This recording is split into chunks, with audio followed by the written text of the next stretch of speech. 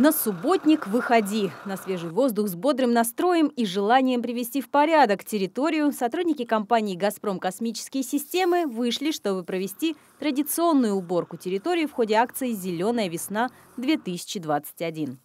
По сложившейся уже традиции, э, как э, каждый год мы всегда вот в последнее время проводили такие акции.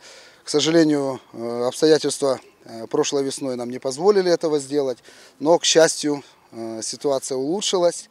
Это очень радует. И вот таким солнечным деньком мы сегодня э, этот проект «Зеленая весна» 2021 э, года здесь реализовываем. Вот. Участвует порядка 60-70 наших сотрудников.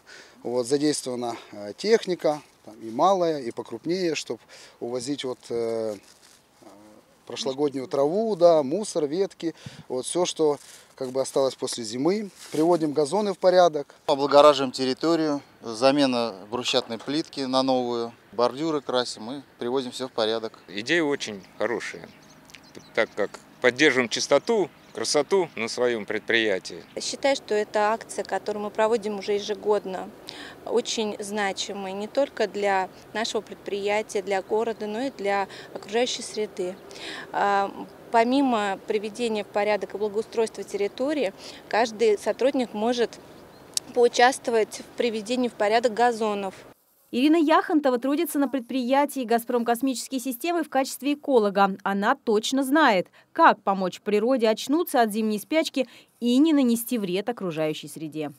Многократно нашими службами пожарной безопасности говорится о том, что э, возникают пожары именно сейчас э, в весенний и летний период. Сжигание травы э, в Московской области запрещено законодательством, и мы поддерживаем, соблюдаем это требование. Ни в коем случае сжигать не будем. А, весна наконец-то пришла в Московскую область.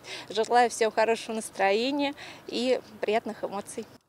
Лилия Тимиева, Сергей Максимов, Щелковское телевидение.